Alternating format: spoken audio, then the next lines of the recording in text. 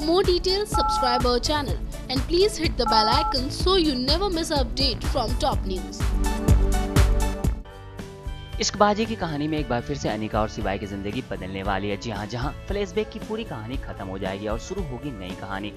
जैसा कि आप लोग देख रहे हैं कि सिवाय अनिका को ओबराय मेंशन के बाहर कर देता है। सिवाय को लगता है कि अनिका उसके परिवार में दखल अंदाजी कर रही है जो उसे बिल्कुल भी पसंद नहीं है। इतना नहीं बल्कि दक्ष अपनी घिनौनी चाल चलता हुआ नज़र आता है और अनिका के खिलाफ सिवाय को भड़काता हुआ नज़र आता है।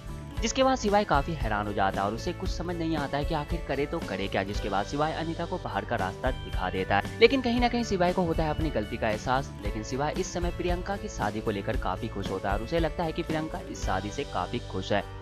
लेकिन आने वाले ट्रैक में आप देखेंगे कहानी में आएगा नया मोड़ जहाँ आप देखेंगे दक्ष का असली चेहरा आएगा सिवाय के सामने जिसके बाद एक बार फिर से नई कहानी की होगी शुरुआत जहाँ सिवाय और अनिका साथ में करेंगे नई ज़िंदगी की शुरुआत। लेकिन अब देखना हो जाएगा काफ़ी मज़ेदार क्या अनिका और सिवाय की ज़िंदगी में होगी किसी तीसरे की एंट्री या फिर कहानी में आएगा कोई नया मोड़। ये सब जानने के लिए बने रहिए हमारे साथ टॉप न्यूज़ से आसिफ रहमान की report.